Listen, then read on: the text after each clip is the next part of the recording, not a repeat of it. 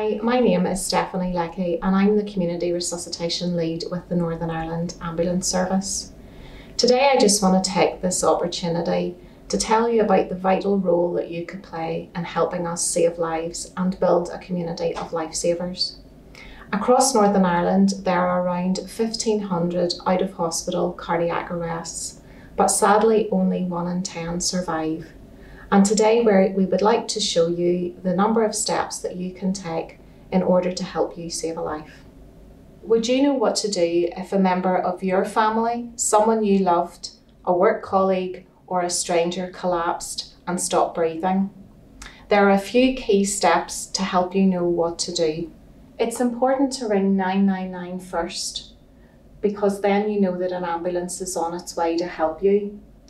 After that, we've got early CPR, and even if you haven't been taught how to do it, our staff in control will talk you through it and give you instructions. They will also tell you where your closest defibrillator is and if there's someone available to go and get it.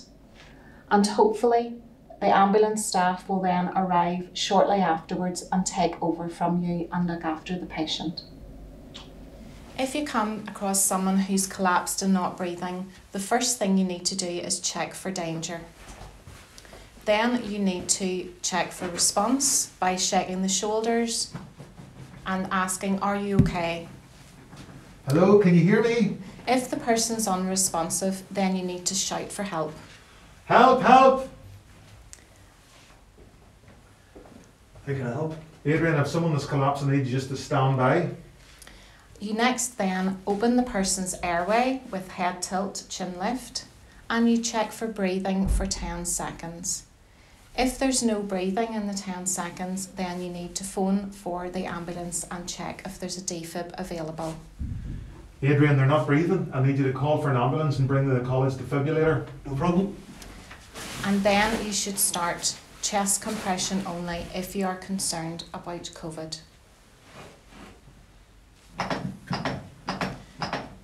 If it's someone that you know and love, then you may wish to do mouth to mouth, and in that case, you do 30 chest compressions to two breaths. Otherwise, if you do not wish to do mouth to mouth, just keep going with the chest compressions.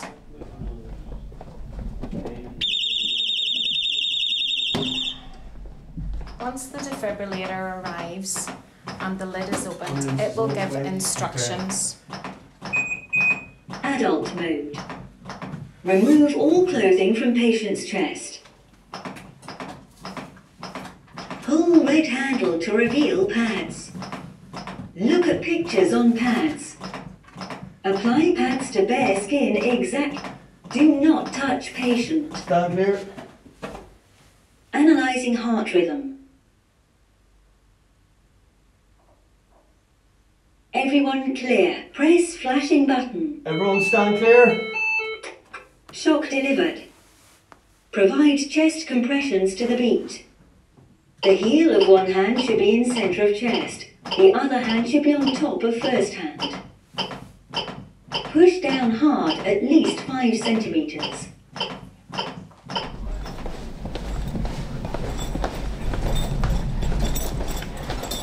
CPR is a skill that we like to have, but we hope we never have to use. I hope this short tutorial has given you a bit of knowledge and hopefully the skills, if they were required, you would know exactly what to do. Thank you for helping us build a community of lifesavers.